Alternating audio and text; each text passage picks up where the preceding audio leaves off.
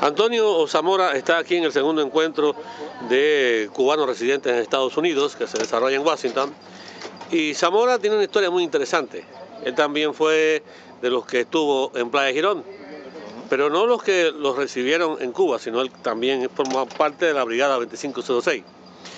Cuénteme cómo es posible que usted, al cabo de tantos años, hoy pueda hablar con tanta vehemencia y con tanto amor de su nación cubana, si en algún momento fue en aquella eh, invasión, ¿no? Pues yo creo que se viven nuevos tiempos y usted es un ejemplo de esas cosas, ¿no? Bueno, pero no una cosa no quita lo, otro. Eh, yo siempre he querido a Cuba, esté en un lado, esté en el otro. Lo que pasa es que, como expliqué en la, en la conferencia, después de lo que pasó con la caída de la Unión Soviética, eso me hizo a mí recapacitar y pensar cómo había sido realmente la evolución y por qué habían pasado todas las cosas que pasaron. Y eso me llevó a hacer un análisis profundo de, mi país, o sea, el país que, ha sido siempre, yo soy cubano, soy ciudadano cubano y muy orgulloso de eso. Y entonces empecé a ir a Cuba pues, precisamente buscando las razones de eh, mi ciudadanía o de mi cubanía. Entonces, cubano eh, de pura cepa, aunque haya pasado lo que haya pasado, y usted está bien claro, con los pies puestos bien sobre la tierra. Seguro, absolutamente seguro. ¿Qué le parece este encuentro? ¿Qué opinión tiene? Muy bien, muy bien, me parece muy bueno. Yo he estado en, encuentros parecidos en La Habana, eh, que se han hecho algunos en La Habana. Este, este, este es el segundo aquí en, este, en, Estados Unidos, pero he estado en otros encuentros en La Habana parecidos, donde se reúnen la, diáspora cubana con los cubanos en Cuba.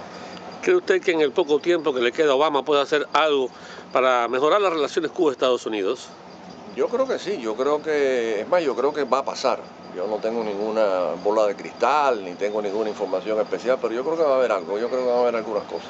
Usted es un hombre que le gusta mucho la política, además estudió un doctorado que prácticamente lo terminó.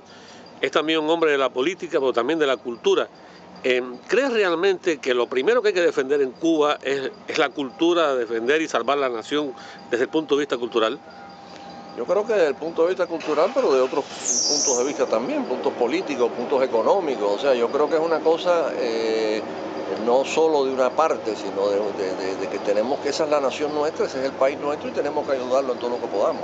Muy brevemente, para terminar, si José Martí estuviera en este evento, ¿Cómo cree usted que pudiera él referirse? ¿A qué tema abordaría Martí?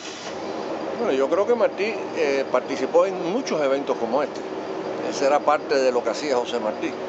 Eh, bueno, él estaría buscando eh, la independencia de Cuba, estaría buscando definir y establecer la nacionalidad cubana, que es lo que, lo que hacía el apóstol.